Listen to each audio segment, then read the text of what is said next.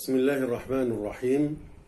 قطز السلطان قاهر التتار يرى النبي صلى الله عليه وسلم في المنام ويبشره بملك مصر وكسر التتار وهو ما زال صبيا مملوكا. هذه القصة اللطيفة وردت في كتب عديدة كالبداية والنهاية. يرويها السلطان قطز يقول بأنه رأى في ليلة من الليالي أصابه قلق فصلى ركعتين وأوتر ثم ذهب لينام.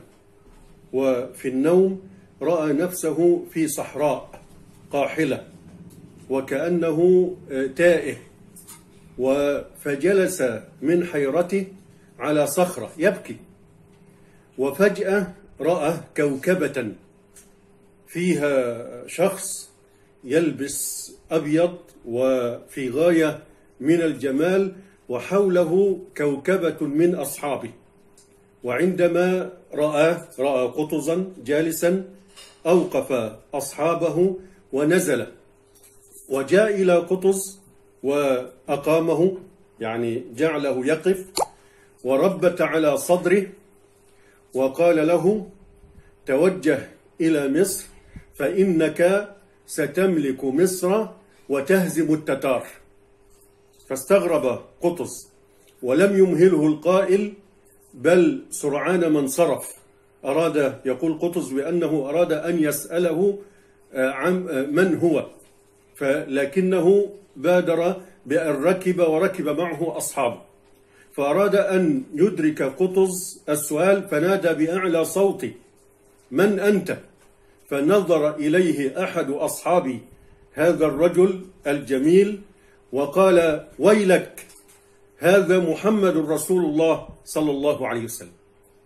قال فقمت من منامي وأنا فرح وأشعر ببرد كفه على صدري فذهبت إلى سيدي ابن الزعيم وحكيت له المنام ففرح به أشد الفرح وأمرني بأن أغتسل وطيبني بنفسه وقال اذهب إلى الإمام العز بن عبد السلام لأن الكلام ده كان في دمشق قبل أن يصل أو قبل أن يذهب قطز إلى القاهرة.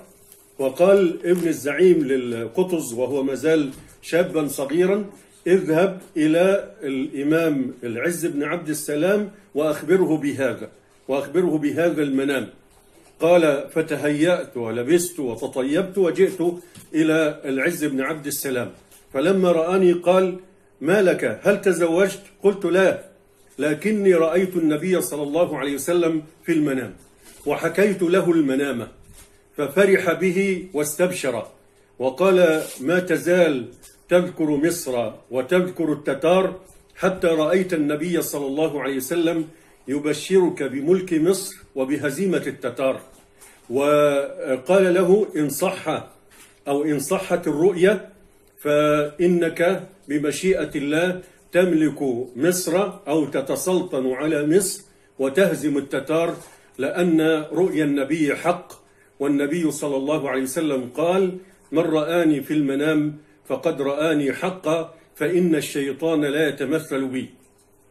هناك جزء آخر أيضا من الرواية إن كما في البداية والنهاية أن القطز عندما كان صغيرا كان له صاحب يسمى حسام أو حسام الدين أصبح أميرا فيما بعد. وكان كانوا صبية ويقول وكان قطز فيه قمل. قال فكنت أفليه.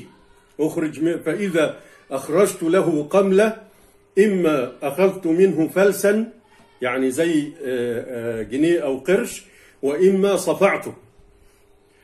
ف وأنا أفعل معه هذا وربما هزأت به أو سخرت منه. ففي مرة من المرات وأنا أفعل معه هذا أو أصفعه قال لي إني وأنا أتكلم معه أقول أتمنى ده كلام حسام الدين أو من أصبح بعد ذلك أميرا يقول إني أتمنى أن أكون أميرا على خمسين جنديا. يعني لأن المماليك كان منهم من يكون على خمسين ومنهم من يكون على مئة ومنهم من يكون أمير ألف بحسب المرتبة. فده كانت يعني أمنياته يسيرة. يتمنى أن يكون أميرا أو رئيسا على خمسين جندي. فقال أنا أجعلك. يقول قطز أنا أجعلك لا عليك. سأوليك وأجعلك أميرا على خمسين. قال من أنت؟ قال إني سأملك مصر. سأملك مصر. قال أنت بقملك هذا تملك مصر؟ قال نعم. قد رأيت النبي صلى الله عليه وسلم في المنام وبشرني بملك مصر وأنني سأهزم التتار ورؤيا النبي صلى الله عليه وسلم حق. والنبي قال من رآني في المنام فقد رآني حقا فإن الشيطان لا يتمثل بي.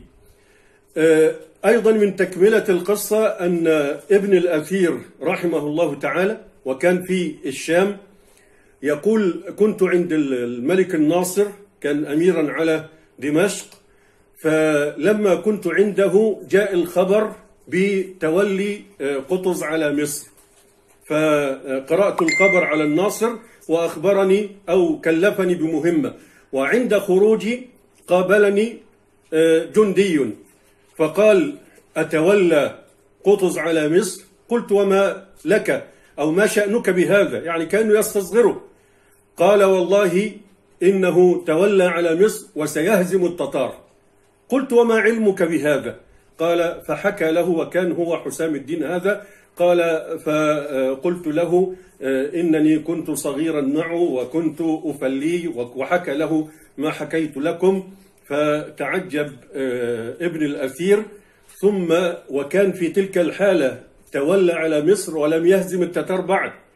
ثم عندما مرت الأيام تقابل حسام هذا وقد أصبح أميرا على خمسين عندما لقي قطز وقابل ابن الأثير وقال بعدما هزم التتار أتذكر يا مولاي ما ذكرته لك في دمشق؟ من قصة قطز قال نعم أذكر كأنه يذكره عندما قال له بأنه وكان تولى في تلك الفترة ولكن لم يكن هزم التتار ولم يكن حسام هذا ذهب إلى مصر ليوفي له قطز بأن يجعله أميرا على خمسين.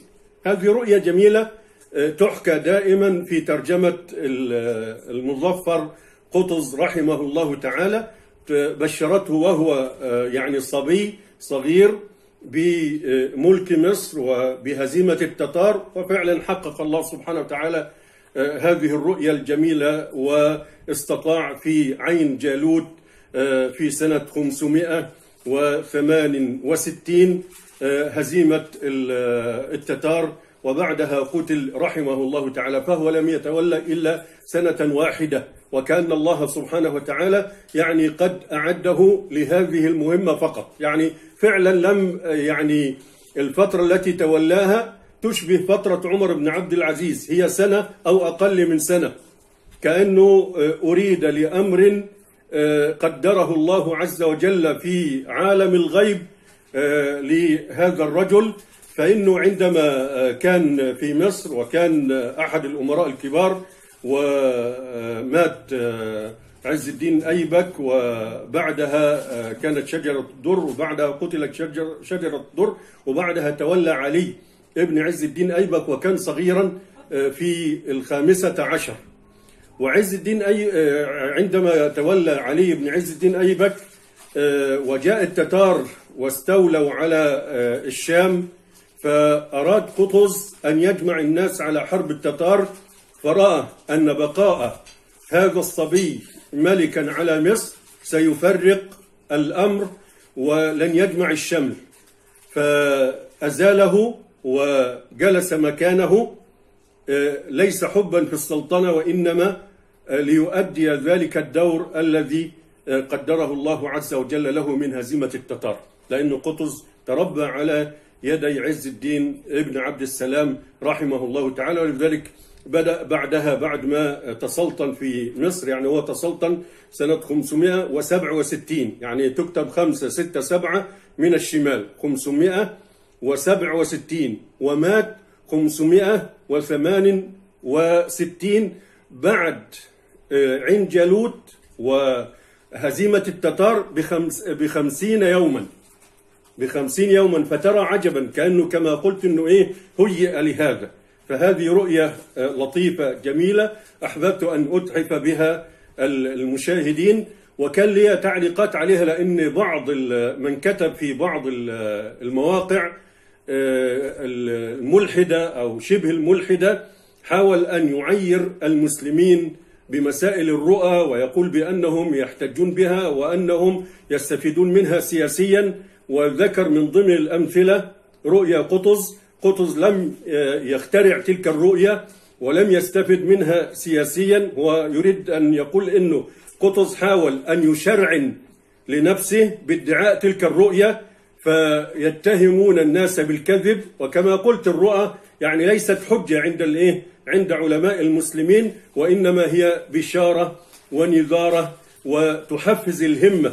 ليست هي التي تصنع الرجال لكن هي ممكن كالتذكير آه، كالدافع كالمحفز. هي لا تجعل النحاس ذهبا لكن ربما ساعدت الذهب عندما يكون عليه آه، نوعا من التراب أن آه، يزيل الإنسان عن همته التراب ويعود إلى أصله ومعدنه كما عاد قطز لأنه من أبناء ملوك خوارزم. رحمه الله تعالى وهيأه الله لهذا الأمر الكريم. فرحم الله قطز وصلى الله على آه، سيدنا محمد وعلى آله وصحبه وسلم. والسلام عليكم ورحمة الله وبركاته.